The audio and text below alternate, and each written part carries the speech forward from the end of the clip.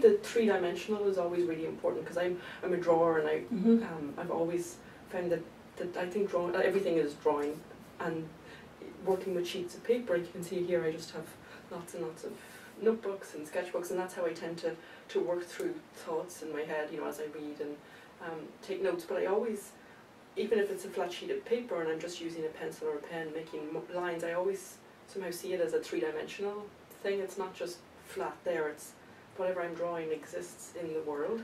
Mm-hmm. And so I started, um, I don't know, maybe it was 2005 or I can't remember time. Anyway, I started taking these these flat drawings and turning them into objects. Oh, I think an easy um, example would be the maps of the world. So I was drawing maps of the world from memory, and they were all 2D. Um, you know, I would just sit there, get a pen, and, and try and, and draw the world. And every time I made the drawing, it was different. Like sometimes I would forget about India or China, or they'd be too big or too small. So I just had lots and lots of different versions of planet Earth from my memory.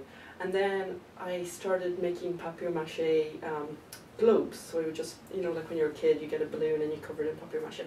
And I became completely addicted to making these globes. So I had a, taking the, the flat 2D sheet of paper and I turned it into this round 3D and could make the drawing in Mm. space. So it was a three-dimensional drawing. And um, I made a lot of those. And they were all inaccurate and kind of wonky, but it was like each memory is slightly different and what is the real one.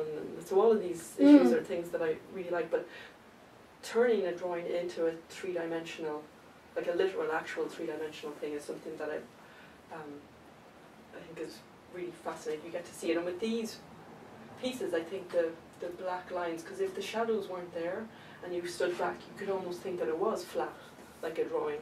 It could just Mm. have this two-dimensional aspect, and then once you you add in the shadows, then you realise, well, it's got this. It exists in the world. and is three-dimensional.